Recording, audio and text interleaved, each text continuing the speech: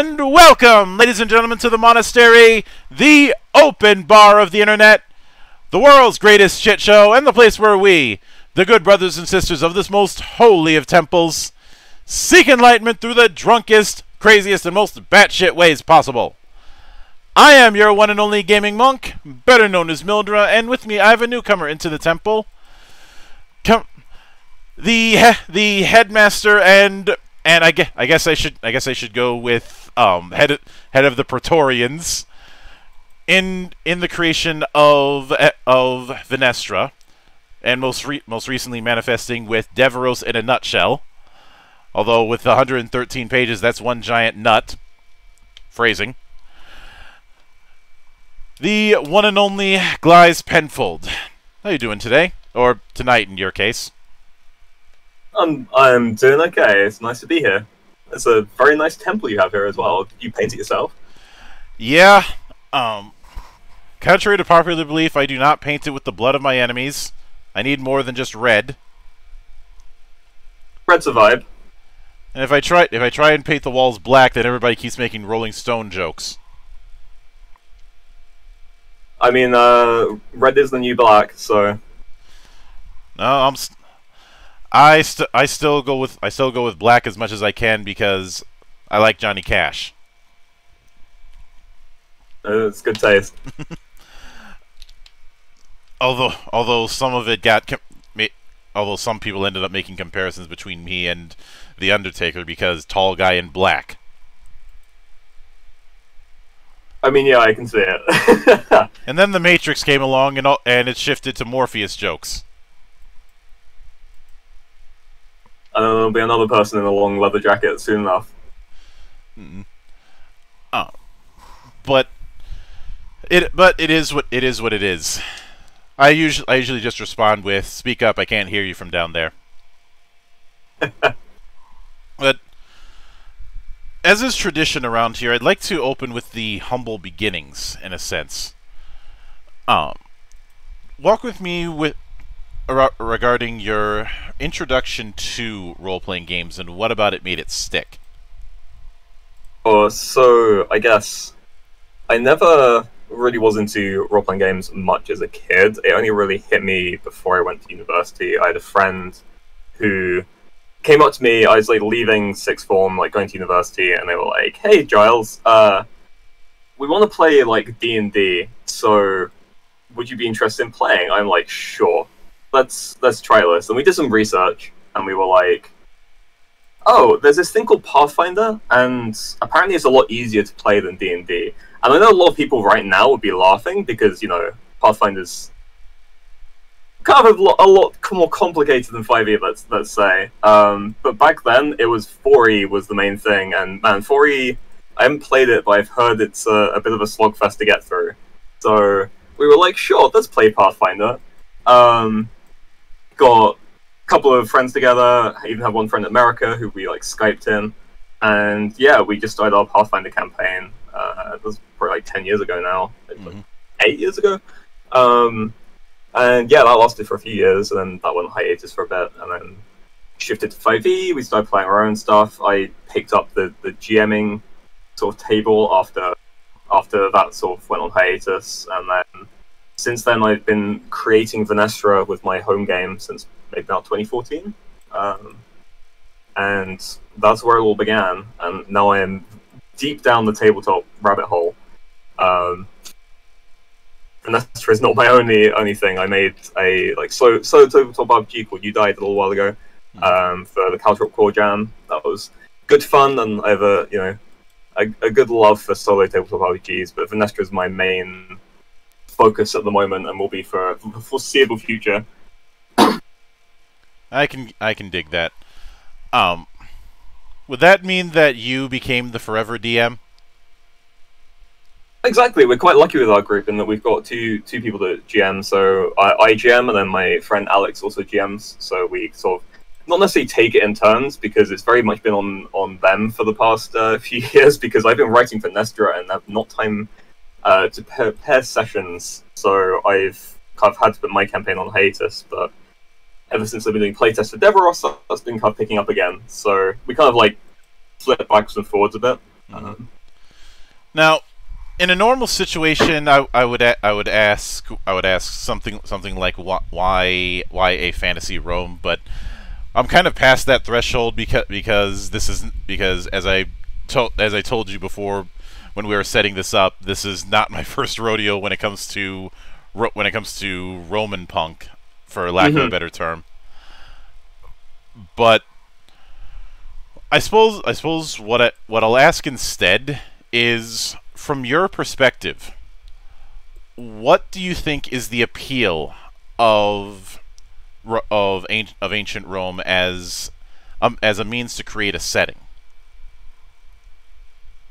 I it's a tough question. I would say Rome is like it's iconic, right? When you talk about the ancient world, um, at least in sort of like the Western world, it's very much Rome is there as the kind of like the, the go-to thing that a lot of people think of when you mention sort of the classical era and the ancient era. Um, I feel it's got a very defined cultural aesthetic to it as well, and it laid the groundwork for a lot of modern culture. And there's a lot of touchstones with Rome, you know, like the way they, they did politics um, has a lot of the way they did sort of legal affairs and all that kind of stuff was very much. But we still see roots of that in everything today, like legal stuffs and like scientific stuff all in Latin, right? Or like a lot of it's in Latin, so that's still very, very carries through. So I feel like everyone knows a little bit about Rome, even if they, even if they haven't studied it. Everyone will know something about Rome, so everyone can not necessarily identify with it in some way, but they can, they can have some connection to it. hmm And what I, for me, for me personally, I can, I can certainly see that. Uh, I do think I do think that the last few years have been an, have been an interesting turn because there's plenty of times when people have di- have dipped into it, but it's always trying to replicate more historical fiction instead of using it as a basis to do something inspired by it, but definitely its own thing. Um, I I kind of I kind of liken it to the difference between trying to run a feudal Japan campaign and trying to run a Legend of the Five Rings campaign, which has elements but isn't trying to be that. hmm And and of course, of course, um, given given the fact that given the fact that you had that you had asked um what what people's favorite emperor was in that in that query for the uh, raffle that you're doing, um, I would it be would it be out of would it be out of line for me to suggest that you had already been you had already been an enthusiast when it comes to researching that pe- that period of time? I'd say the Roman Republic era, yes. Um, so in sixth form, I took ancient history, and that's where I kind of was first introduced to Rome on a more kind of in-depth level. So we like read Caesar, read Tacitus, read Cicero, and kind of you know the big Mhm. big names. Um, and my memory is like awful, so I don't retain a lot of memory for that. But I it sort of planted the seed of interest in Rome, and that very much got me uh, watching lots of YouTube channels about it. Like I don't classify myself a historian. If if anyone calls me a historian, they're completely wrong. I'm just someone who has an interest in Rome and like history as a general, but I, I I'm not a knowledge base for it. So whenever I'm writing this, whenever I'm kind of researching for the for Vynestra and Deveros, I, I'm very much going and like actively researching it, uh, and then picking up that information as I'm writing, and then usually it slips out of my mind after I like put it into my universe. Um, trying to get better at retaining it, but yeah, there's a lot. I have a lot of respect for historians who actually do this as a job, um, and like keep all that info in their minds. hmm Uh, And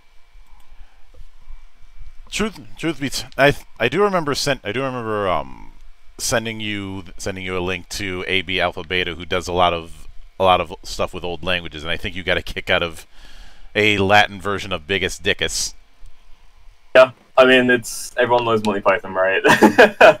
it's uh, one of the things I got when we started advertising on Facebook a bit. People would just quote that the entire time, and I, was, I feel that's like I said people have a touchstone to Rome. I swear that's probably like sixty percent of people's touchstone to Rome is Monty Python. Well, truth be told, my um, the material that I was using it to to prep my mindset when I, when I when I was get when I was setting up for this interview was not biggest dickus. I just I just like using that as a gag. Oh. No, but instead but instead I decided to go with I decided to go with something a bit more ridiculous. That being the Caligula movie. I have heard of this film. I've not watched it, but I have heard lots of people talk about it. Um, yeah, it is terrible, but it is terrible. But it is terrible in a so bad it's good way. And if nothing else, it's it's one of the rare cases where you'll see Peter O'Toole drunk off his ass. It's on it's on my list to watch, and I feel like after to you, I do need to go and watch it because yeah, Caligula was a a fun guy, uh, and I just feel him paired with this kind of very bad but good film just can only go right. Pretty much. Uh, it he's pl- he's played by Malcolm McDowell, and there was I remember when I, I, remember when I was pitched when somebody had asked me how I would handle doing a Judge Dredd movie. I had said, um, base it on the day the law died, and and ha- and ca- which has a Judge Cal, which was a parody of Caligula, and ca- and cast Malcolm McDowell in the role as an in joke. I mean, yeah.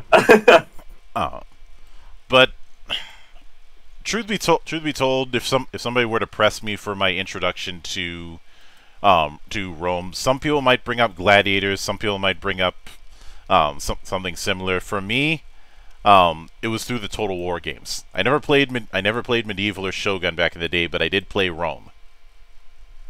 That's the same. I mean, that was one of my first um, first games I ever played. I think the first game I ever played was Age of Empires 2. And then after that, I got Rome Total War on disc back when that was a thing, mm-hmm. the PC games. And yeah, I remember sitting in my dad's office um, late into the night playing Rome Total War. That was very very fun game. Yeah, I think it was just fun getting the elephants and just having them charge through lines of armies. Uh, young me was very very fascinated by that.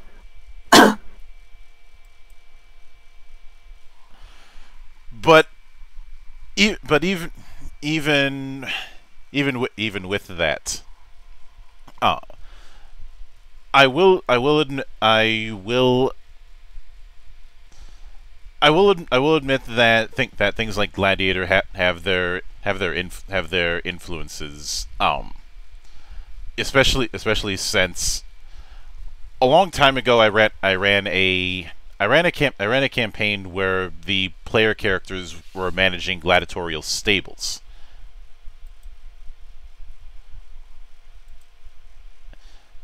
Oh.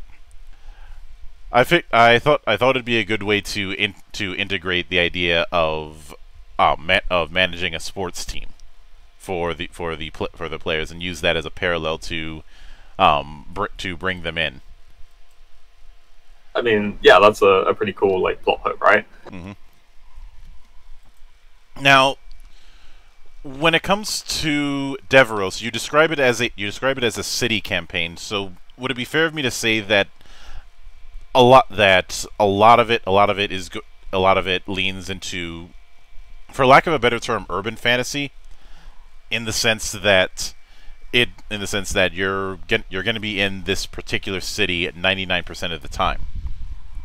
Yeah, um, that's kind of the intent of it. So, it originally actually started as like, I want a quick guide for my players at my home game. Mhm. Uh, it was only meant to be like 50 pages at most, um, which for me is not much when I write, but it kind of spiraled into a much bigger thing um, as it's now being kickstarted, which was never the original intention. But yeah, it was very much as a small city setting.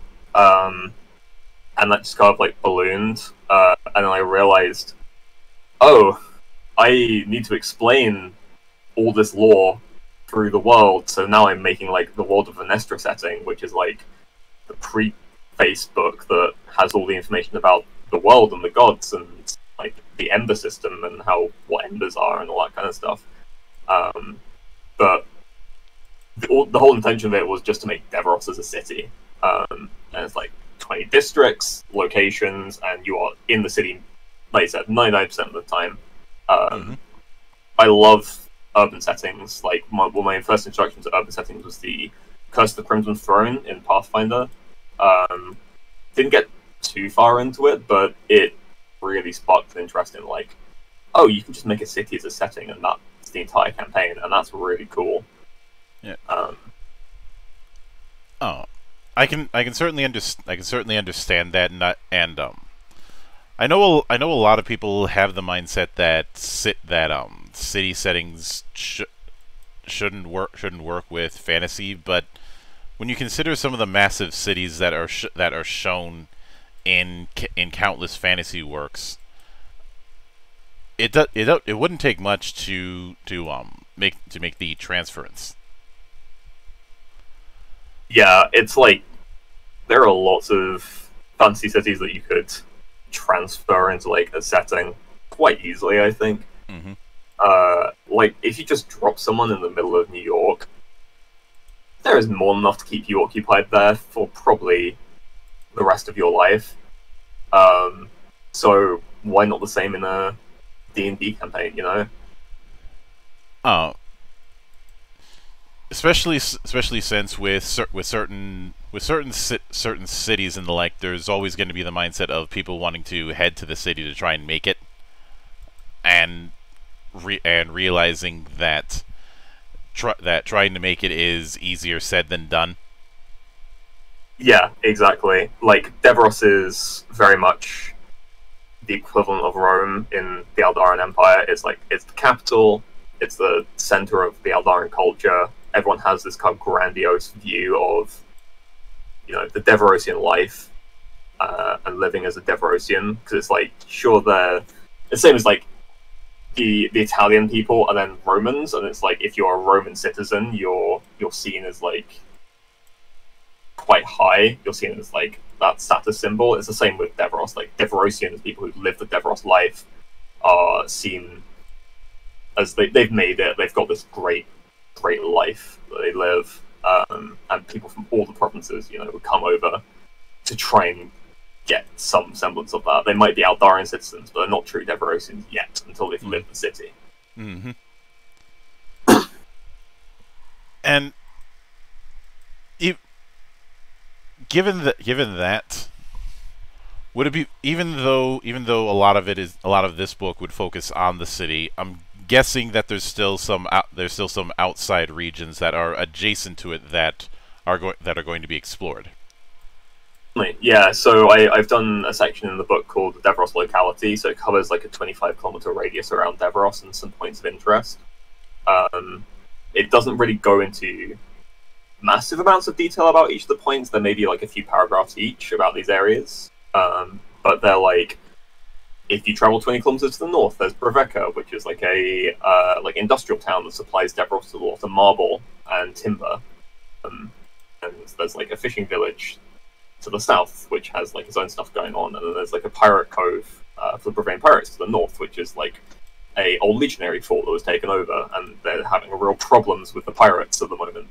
Um, yeah, so th- there's a lot of like stuff to do around the city as well, and you've got like the the outer districts. There's like Agrizo, like the Vineyard district, um, which has fun thing about Agrizo is that it was so big on the city map that um, Janice and I, Janice our cartographer did the city map, um, we had to split it up, I think, into eight separate wards to make it fit on the page, uh, on the pages of the book. Yeah. um, yeah. So yeah, there's a lot to do around the city, um, not just inside it. I remember I remember a long time ago reading reading a comment that um, that Pondsmith had made about the creation of Night City in Cyberpunk, and he he um com- he made an allusion to the- to theme parks, different areas having different themes hmm within your within within De- within Deveros. do you have do you have do you have a similar, not exactly the same mindset, but something not far off of eat of different areas of the city having their own identity? Yeah, hundred percent. So I went into it with the mindset of you know I built it from day one. So I was like, this was founded in this year by these people, and this was like the political structure at that time. And I went through like the decades, not maybe that granular, but like every 50 or so years. And I was like, how did the city expand? What districts were formed? What was the reason behind them forming? What purpose do they serve? And sort of where the city spread? So you've got this kind of divide of the kind of very opulent north side of the river, which is very political and very driven by the imperial family, who still have influence over the city, um, despite not being in power anymore. And you have sort of as you get gradually more south, you get the uh, poorer districts um, and the more densely compacted districts. Um, so there's definitely a, an identity to each of the districts um, as you travel through, and there is like blending as well, like on the corners of districts. You can there's no like defined line we actually had a lot of discussion when we were doing the city map of like, actually, where are these districts? Like, where where do we draw this line? Because the, the person who lives in the city is not really going to have a concept of I cross this street and I'm in another district. They're just very much like, well, this sort of area is the Marmaros district, and this sort of area is the Fluminus district. Um, so yeah, that was quite interesting to explore. Mm-hmm. and with the with that in mind, since since one of the backgrounds is um is Pu- is Publius, essentially a politician, it's meant it's mentioned that the it's mentioned in that that there's three political parties: the Reformist, the Revitalist, and the and the Captains. Um, yes. what could you tell me about about about each of their directions? So you have yeah, the, the, they are the, the three main uh, political groups. Um, and I always get the reformists and the revitalists mixed up. So hopefully I get it right. Um, the reformists are seeking reform, so they're based on like Caesarian politics or mm.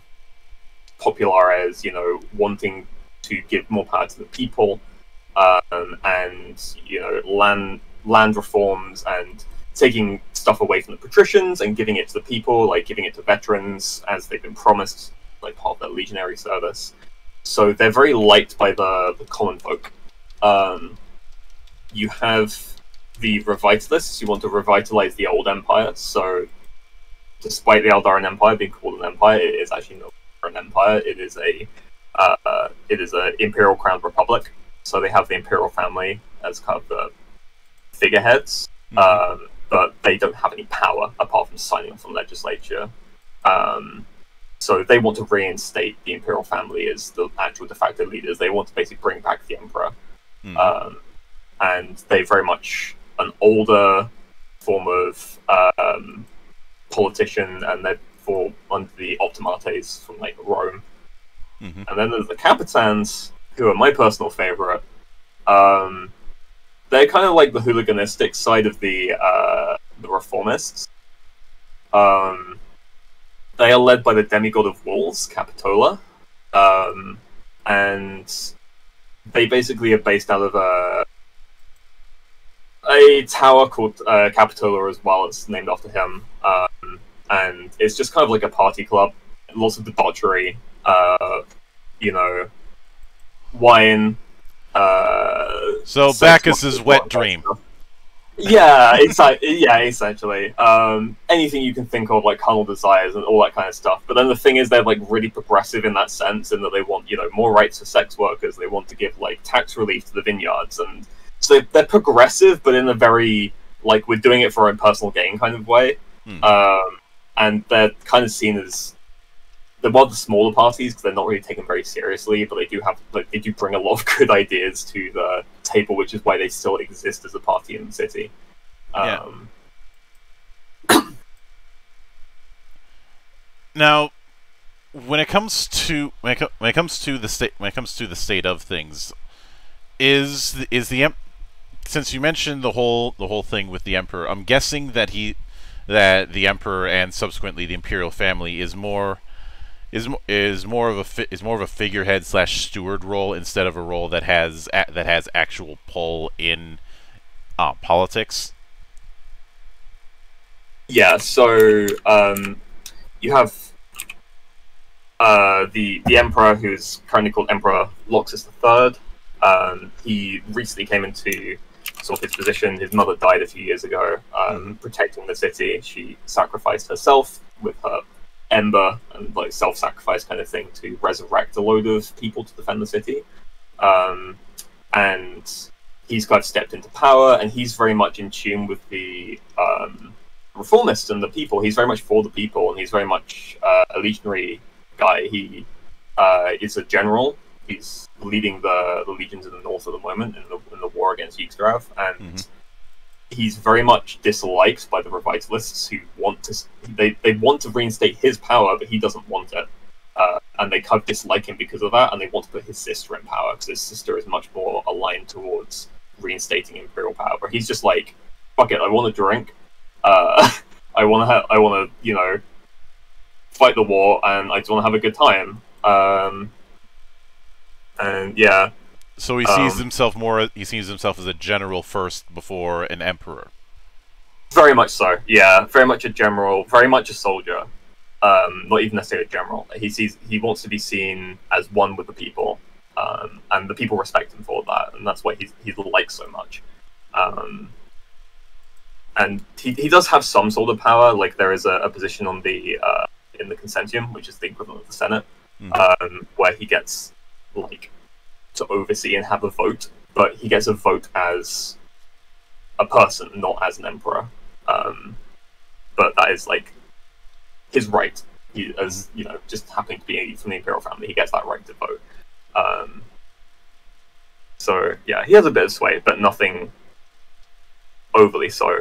Um, but the people like him, so they listen to him, and he can sway them in that way instead through his Yeah. through his heart and through his words. which pro- which probably which probably annoys some certain certain factions because because of the fact that he has that that um he has that sway. Exactly. Yeah, he's very charismatic. Um, he he was kind of modeled a little bit after Caesar, but uh, there was actually a character that we didn't model entirely after what happened with Caesar, um, who was the entire reason the imperial family fell. Um, we kind of flipped Roman history on its head a bit.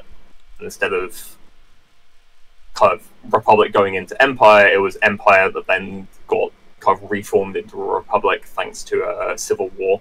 hmm Um, so that's similar sort of like tangent, but we just got like completely flipped the timeline.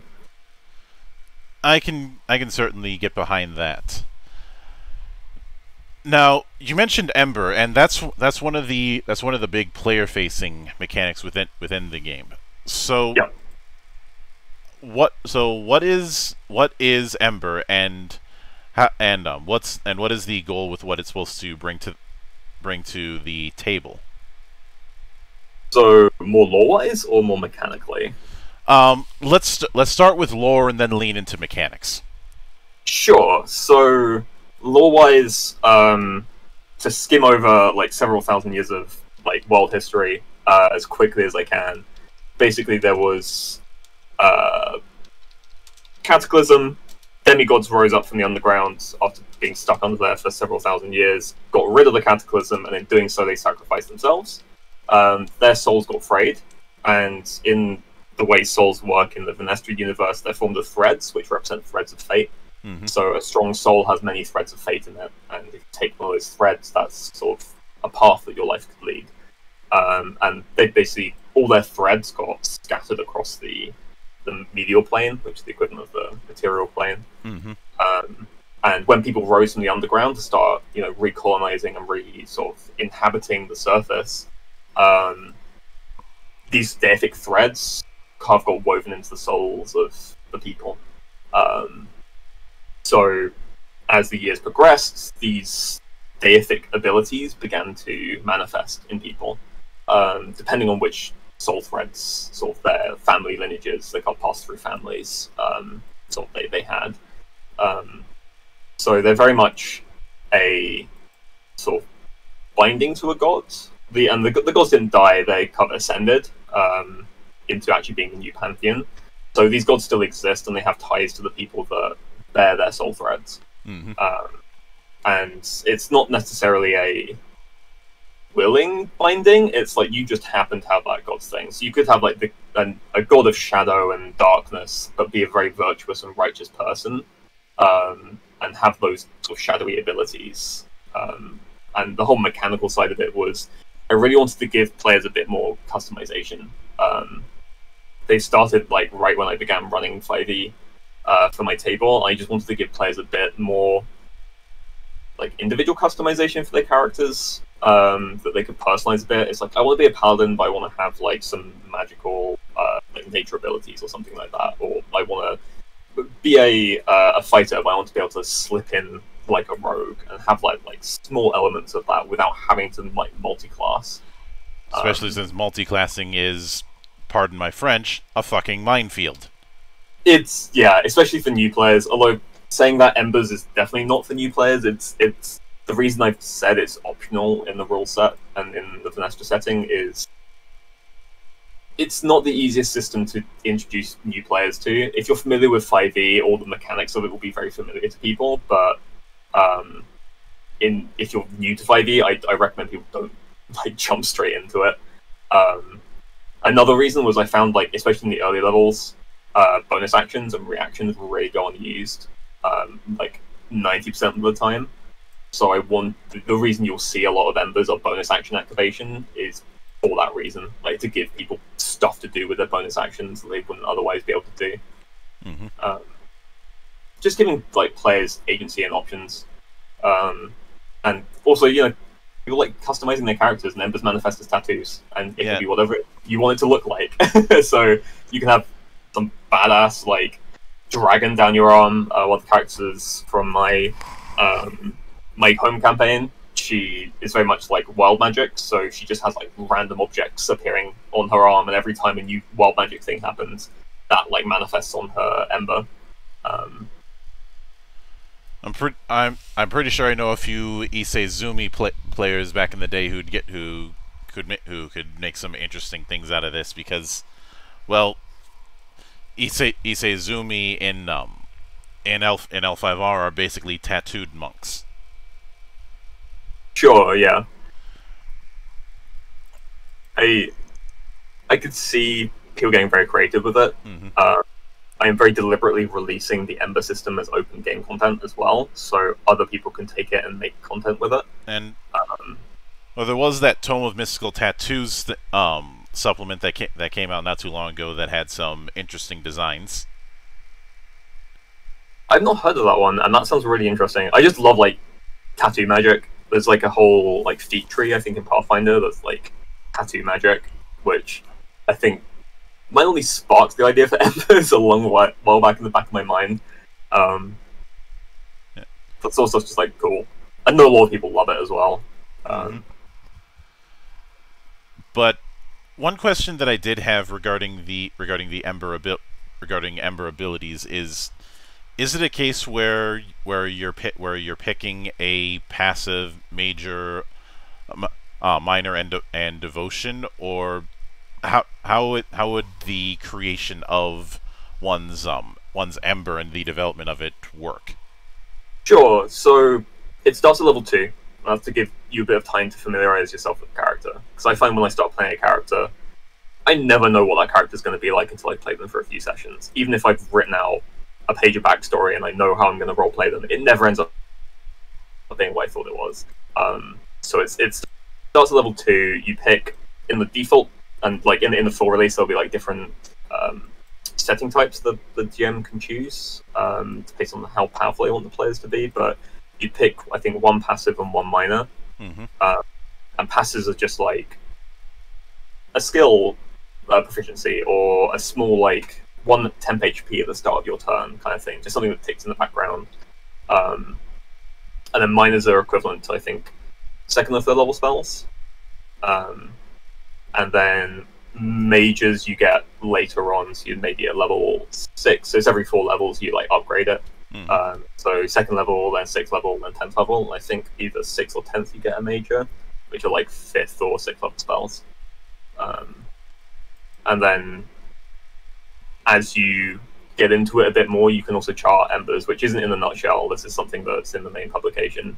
So the whole thing is like the ember feeds off of your soul. It's part of your soul, and you're basically choosing by charring it, you're choosing to give more of your soul over to the god, um, and letting it have more control of your body. So mechanically, that's like you sacrificed like maximum hit points to this thing, but it upgrades the abilities um, permanently. So it's like cut glass cannon, um, but you can get some wild stuff from it if you choose to do that. now, when it comes, one thing that one thing that I was curious curious about, given that given this ability setup, is is it is it a set is it a set of a freeform choice of abilities or or is there a set of presets based on the based on the pantheon? So I've done a set of presets. So I think there's six passives, six minors, four majors for each of the twenty gods in the release. Um, so that's a lot of abilities. Uh, but those are just presets. I do give guidelines for GMs to create their own, and I actually actively encourage GMs to make their own with their players because the stuff that's there might not be representative of what um, what the player might want to do. Um, but typically, when you when you design your ember, you would pick two gods, and then you would choose from the abilities of those two gods. Mm-hmm. Um, so, for example, Zith, god of shadow, and Celianthrae, god of uh, nature. You could have a combination of those two, and then play their abilities off of each other. Um, but yeah, I actively encourage people to come up with their own abilities as well, and there are guidelines for making that. It's very much like I want to give freedom to GMs and to players. Mm-hmm. Now, with that, with that, with that in mind, you mentioned you mentioned that charring, um, give gives more gives more of your soul to that deity. Mechanically, how would how would that work? Is it a case of reducing your max HP, um, or put or what sort of what sort of drawback would you incur if you if you choose to char? Sure. So charring takes place over a long rest, um, and you basically go into a trance-like state where you begin giving your soul to the ember and allowing it to overtake more of your body. Um, mechanically, the skin on your body begins to burn and look more like it's um, you know kind of when you burn paper, it has that kind of like burn ember like effect. It's mm. kind of like that kind of ripples across the skin, and the more you char, the more that happens to your skin. Um, and you'd roll some hit die based on what class you spec into. So, um,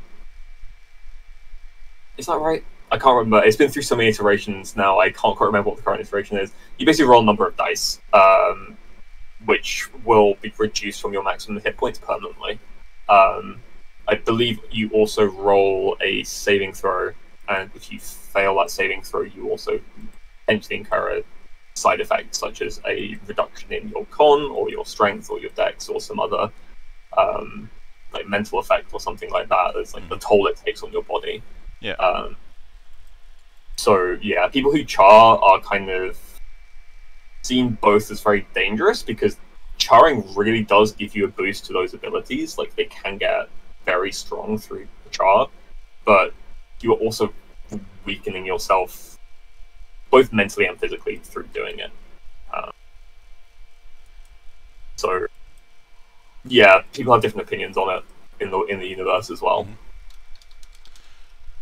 And I'm I'm get for me one for me one of the one of the key things when you have when you have an ability that's meant to be that's meant to have the, those sort of drawbacks is making sure that the benefit is is not just is not just a slight is not just a slight change in numbers because if you're if you're playing if you're playing a hard if you're playing a hardball with your ability scores then you then I think you should get something of similar value out of that because because ability damage you're not getting that back easy yeah um, it's very much a risk reward thing with embers um, and charring. Like embers themselves, you can just go down embers normally, ignore charring, and you'll be quite powerful at the end of it. Mm-hmm. Charring is meant to be like you're playing with fire, quite literally. Um, and you the rewards are definitely worth it. Like you can get a lot out of it. Um, a friend of mine, one of the co-designers for this, actually did a whole massive spreadsheet of like all the possible hit dice rolls you could get and all the different classes and stuff, and we managed to calculate it just right where you can like be powerful from it, but there's also a chance you could die from it as well if you char too much. Um, which I found interesting, and I was keen to keep that in. I like would be keen to see like a character going down the deep end with charring and like almost becoming obsessed with it to their detriment. Mm-hmm. Um, like that mechanically roleplay wise is like super interesting to me. Yeah, and get, given given my experiences with with with stuff with stuff like Double Cross or the numerous stuff I've I've dipped in, I've dipped into in the world of darkness, or hell, the fact that Exalted is one of my favorite games, I'm no stranger to risk to risk reward. Um, yep. Now, one now um, one thing that I'm that I'm curious about whenever you whenever you're doing a very urban setting, is how is how to account for a variety of a, a, variety of players and a variety of campaign styles. And I hmm. do, I do recall asking this to the Historica Arcanum guys a few months back. But for the, but if somebody if somebody wanted to do some some equivalent to a dungeon delve, um, would would De- would Deveros be able to accommodate that through things like catacombs or under or underground chambers within uh, within the setting? Hundred percent. Yeah, I've deliberately designed some stuff there. So you've got Sanguine Sanctum, which is the um, one of the bases of the Vampiric Order, who are kind of like the Illuminati of this world. They're very much pulling the strings, everything. Um, and they have a sanctum beneath the city, an old vampiric fort. So there's a load of vampire lore, which I'll actually be delving into in Blood Tides, which is the first published adventure I'll be doing for um, for Vynestra and Deveros. Um, so there'll be a lot of that there. Um, there is the Necropolis of Estioch, so um, that is a burial ground where a lot of people in the city are buried, and that goes deep down, and some parts are collapsed. Um, also, really fun bit I played around with with one of the what, what was going to be the original first adventure, but it didn't it didn't hit the right vibes I wanted with for like introducing people to the setting. Um, so it kind of got scrapped. But I might release it as a one shot sort of thing later on. Um, but it explores the old sewers. So the city had an old sewer system which in the 9th century collapsed, um, and then it was kind of like part of the city sort of like almost like caved into it, and there's a colossal effort to rebuild new sewers on top of it and push the old sewers further down. Um, and there's a lot of stuff still in those old sewers that there's a lot of interesting things down there. Mm-hmm. Um, there is also an ancient hydra very deep down under there as well that people might encounter in one of our encounters that's released into the setting. Yeah. Um, so yeah, there's a lot of stuff under the city. Mm-hmm. Um, our one of our cartographers, Janice, is actually doing the underground city map at the moment. Um, yeah. Which is, I'm very excited. I just saw a first draft of it today, and it's very, very cool. I noticed. I noticed that you have quite a few. That you have quite a few kinships or ra or races mm-hmm. within within the preview document. Are each are are most of the ones that are listed in there going to going to get their own details as far as as far as ability modifiers and fe and features? So um, I'd say a large number of them will be just called OG5e, so base rules. Um, so they will just point to the base rules. Um, some of them will get new modified stuff based on what we think sort of these kinships should have. Um, obviously, the new ones will have loads of new stuff that have like kinship features. Um, I think Dhampir is like one of my favorite. Um, I know other other have done there as well, but I wanted to put extra spin on it, especially with how Dhampir and vampires interact in this universe. Um, yeah, so there's a lot to explore with the, the kinships, um, but I, would say maybe sixty-five percent of them are probably just like your base five E, like what you're used to. Um, mm-hmm. So I wanted to make, I didn't want to like just overhaul everything. I wanted to make people you know familiar with some yeah. of the kinship. Personally, I, I could I could see how I could see how um some how some of the new entries might be the might be the variations with humans. Yeah, we've done a lot of human variations because one one thing you'll learn about me if you ever play with me at a table is I always it's kind of a running joke now in our, our group that I always play humans because to me humans are the most diverse group. Um, I feel people seem to stereotype other kinships quite a lot, like elves and dragonborn seem to have like stereotypes that follow them around a bit. But humans, to me, I don't know, they just kind of fascinate me.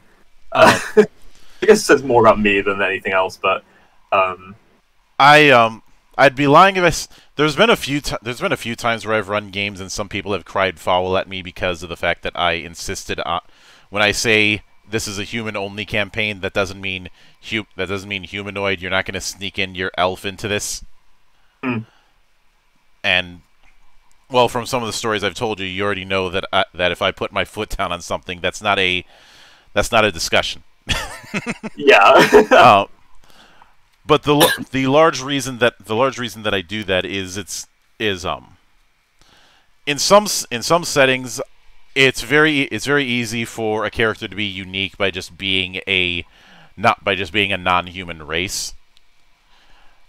And to me that to me that always felt like a like an like an easy fix. Like try, like trying to put like trying to fix something by using copious amounts of duct tape. And, I, I, I can, I can see that. Like, I, I, I know that people like love playing, you know, really eccentric races and kinships and all that kind of stuff, and like, it, it never appealed to me personally. I, I feel that I like playing with a character's personality than their outwards appearance of like what their what they look like and their culture and that kind of stuff. I, I just love tweaking the personality of a character, um, which is why I just feel comfortable with humans, I guess. well, I've told I've told people in my class if you're gonna if you're going to do that, then don't then don't don't settle on you be, don't settle on just be on just being your your character is an your character is a dwarf or something like that. Um, Being being a What- dwarf isn't their personality, right? one one exa- one example example that I example that I often that I often use in this regard is um oddly enough from Star Trek and some people would think I'd use Spock in this example. No. The example that I use in in this instance is Worf. Because his his persona is especially during Deep Space 9 was not him being a Klingon in, fa- in fact, in fact, a lot of what a lot of what he believes is very much at odds with um, Klingon culture, and he's tr- and he's trying to find a middle ground between that between between what he wants and what's expected of him. And while that's certainly well, that's certainly a common feature with um, with with certain with certain characters where their ethnicity is a big part of that. It's not the key thing is that it's not the only part much in the same way that Sisko is not the Black Commander. Yeah, exactly. That's why I'm I'm very keen. Like we've got a lot of cultural sensitivity readers and um, Oh, uh, just Although- on, on the project, so I'm keen to like make it as diverse as possible and give people like those options to like What- personalize their characters outside the stereotypes of yeah. One seems to be the general.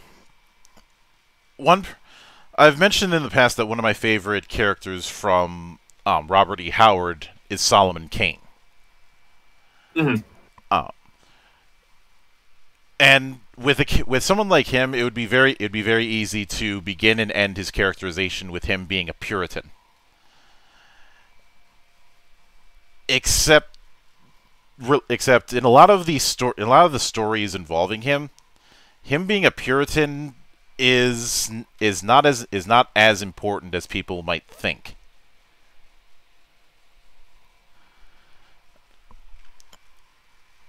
Uh, especially since a, a lot of it is him is him being the is much like with much like with Howard's other works, him being the traveling Avenger. Um, even, Sure. even even more so than with Co- than with Conan or Kull. Mhm. Uh, although, since I mentioned dwarves, I'd be I I feel obligated to mention a joke that I that I've I've had I've had for the longest time because some because a common question I've got I've gotten asked is if dwarves live underground, why do they al- why do they always wield axes? The answer: elves live in trees. Okay, that's quite good. I like that one. Uh, but when it when it comes to further player facing mater- materials, do you have any plans on in, on introducing any new any new subclasses or the like, or is that not in the cards? Yeah, so there are some subclasses. Um, we're actually might we'll be previewing previewing them a little sooner than next year with the Kickstarter. Um, we have a few podcasts that are working with us at the moment to run the late shipments adventure from the, the preview uh, from the nutshell document. Mhm. Uh, and I know that there is interest in playing a couple of the subclasses. So one that I was very keen to do was the um, Legionarius um, fighter subclass, which I feel 5e lacked a lot of like fighter centric battlefield control. Um, so the Legionarius subclass very much focuses on making formations with your allies, and get if you're in a certain formation with your ally, you get boons for everyone who's part of the formation. Um, so I think that's going to be a very interesting one that can play into the lore quite heavily for with Deveros. Mhm. Um, it's just making sure you have the allies that are willing to do formations with you. Um, but there's also a feat that you can take that can give you uh, NPCs from legions that can help you with formations as well. Um, what other subclasses? We've got the Revel- Revelry Cleric. It wouldn't be Rome or Rome adjacent if there wasn't a lot of wine and a lot of festivals and a lot of drinking. Um, so yeah, we have the the Revelry Cleric, which can kind of infuse spells into booze and then give that booze to friends and allies to then cast those spells uh, when they drink the alcohol. Um, and then they have to make a con save to make sure they don't get magically drunk from the spell, from like the, the spell booze as well. Um, so yeah, those are two of my favorites, I'd say. Um, Mhm. We've got a couple more in there. There's five or six in total. A couple have been cut just because we didn't have time to playtest them properly. Now, with that with that in mi- with that in mind, there's there's always a, there's always a question of how, of how of how certain classes can would be would be integrated within the within the lore of a, of a setting, and some of them I can see as as easier than others. Mhm. Fight, um, fight, fighters and fighters and rangers are pretty much idiot-proof in this regard. Um, same thing with same thing with cleric or druid, also known as Codzilla. But how would how would you how would you integrate things like warlocks and monks? So warlocks, I would see as cultists. Um, again, using cult in the term of the ancient sort of collective of people who worship a god. Um, what we probably know in this day and age as clergy. Um, warlocks would very much fall under sort of the maybe chthonic cult, so a more underground cult, um, which is what in the modern day we would know just as a cult. Hmm Um, and then there's obviously the heavenly cults, which the clerics and paladins would fall into, um, which would be more of like you know the traditionally upheld gods. hmm Um, monks, I'm I'm not entirely sure. Um, monks are based. Like I have never played a monk, and I've not read too much into monks. Um, but they're based around monasteries, and You could That kind of probably you could probably work those into into certain cults.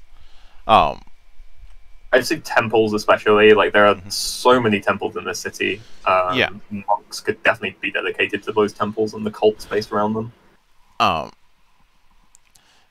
it's and bar, and barring barring that, you could always you could always double down on the unarmed combatant and ju- and just and just make them brawlers.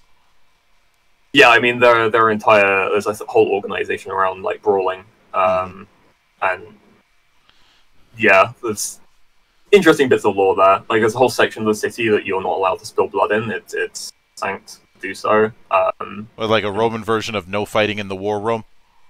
Yeah, pretty much. Um, it's it's based on uh, the literal kind of uh, the pomerium of ancient Rome. Um, so you weren't allowed to take weapons into Rome itself uh, within the pomerium, which is of a designated holy area.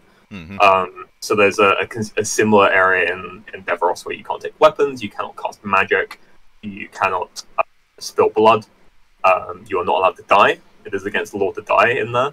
Um, lots of interesting stuff, but there's a whole brawling group that sneak in after dark to go and brawl in the streets of that area because they can't get a thrill out of the idea of we're doing something we shouldn't. Um, we're spilling blood on this holy holy land. Um, so yeah, there's no, no short of brawling as well. Lots of street gangs as well. Um, as with the late Republic of Rome, there were a lot of street gangs and issues with those. So I, I really wanted to incorporate those into the setting a lot. So Monk could maybe be part of one of those uh, political street gangs. Um, Yeah, a good a good way to a good way to to integrate the warriors. Oh, because well, that, that's one of my favorite movies, so of course I have to reference that. uh, to the point that I've ev- I, but um, I will I will admit when you meant when you mentioned when you mentioned not not not being allowed to spill blood, the first thing that came to mind is one is a scene a scene that I keep referencing from from the show Peaky Blinders. Uh, The whole the whole thing of the whole thing during the during the wedding and no fucking fighting. yeah, I've seen the GIF. Mhm. Uh, I, I've seen that going around. I still need to watch Peaky Blinders. It's on my list. I've watched the first episode and I loved it, and I just need to sit down and watch the rest of it. Yeah. Uh, of course, the sweet irony is that is that a wait is that he ends up bumping into a waiter and ki- and kicking his ass right after telling everyone no fighting. It's just comedic timing there. Mhm. Ah. But now with now I realize thing I realize things are in flux, but what do you what do you think you'd be shooting for as far as the total page count for for the um, Vynestra book? Uh, so fun, funny fact about that. Funny story. Um, I did a like. I had this, this thing of like a few months ago of like, huh, I don't know how many pages we're at. Starting counting, and as I was counting, I, my face was just getting paler and paler. Um, as we hit over a thousand pages with it, and I was like, oh god. Um, and I like had no real concept of what that was like in terms of physicality of like how thick a book would be. So I went and got some of my Pathfinder books, stacked them up, and I was like, "Oh, that's a really big book." I'm That's pretty not- I'm pretty sure that'd be classified as a weapon by that point, especially if it was hardcover. Yeah. On the tangent, there is a Ember ability called Throw the Book at them, where you literally summon a book and clobber someone with it. Anyway, um, yeah, you um, I I can't just like realize I can't physically print this. I spoke to the printing company. and It's like we can't print this like cost effectively. We you like you will be losing money printing this book. Um, and we we were like, okay, we need to split this. Um, so it's now still figuring it out, which is why on like the press kit thing on the Vynestra website, it's very like question mark out of the final book count. But um, I kind of want to have the world of Vynestra with all the Ember stuff in it, um, and all the gods, and like this is the world lore, right? Um, and that's probably going to form at least like a good two hundred and something pages. Um, then there's going to be like the Eldarin Empire book, which is maybe going to be like 80. And then Deveros itself, I have tried to split down as much as I can, but I still think that's going to be like a 500 page book, um, which is still a weighty tome. um, and then we've got the Monsters of Deveros, which I might rename. Now I've realized I want to split the monsters out into their own books. That might be Sif's, Sif's Guide to Monsters. Sif is the demigod of adventure who catalogs monsters in the universe. Um, so I want to maybe do Sif's Guide to Monsters as the separate one, and then obviously Blood Tides as the adventure book. Mhm. Um, so it's looking to be five books at the moment. I think is like the sensible count. Um, but we will see. Well, in lieu in lieu of jinxing, Fingers crossed. Yeah, because you know, you know, you know as well as as well as anyone that nothing ev- that nothing ever goes according to plan. it never does. No. Um, oh, just a fifty-page book. It'll be But- fine. Four years later, oh god, there are a thousand pages. when I was working insurance, that there would be, there would be people who'd come in and unironically say I wasn't planning on having an accident. I know you might be tilting your head at that at that statement, but that's but that's what people would say right in front of me. hmm Uh, I mean, if I ever have to claim on insurance, I am now saying that with full seriousness to someone, just to see what they react with. well, you can't do that around you can't do that around me because I'm gonna because I'd be giving you shit for it all day. Thankfully, you're not my insurance in private Yeah. provider, though. So. But then again, I give everybody shit. I hold these truths to be self-evident that all are cremated equal. but with all of that said, I would like to sincerely thank you for taking the time out of your schedule to come all the way up to my temple and enjoy the madness at play here. And anytime you see fit to return, whether it's to whether it's to further talk whether it's to further talk about the development of of Vynestra or just to just to shit just to shit po- just to shit post at anybody who's a fan of Hannibal. uh, the door is always open. As I often say around here, drinking is not mandatory, but it is encouraged. Of course. Thank you for having me. It's been great being here, and I'll definitely have more to say about Deveros and Vynestra next year when we do the Kickstarter. And of course, a sincere thanks goes out to everyone who took the time out of their schedule to come onto the show and enjoy the madness. And there will be plenty more where that came from, as there always is here on the open bar of the internet. But until then, on behalf of the good brothers present and not present, my name is Mildra. I am your gaming monk. Stay fucking frosty, everybody.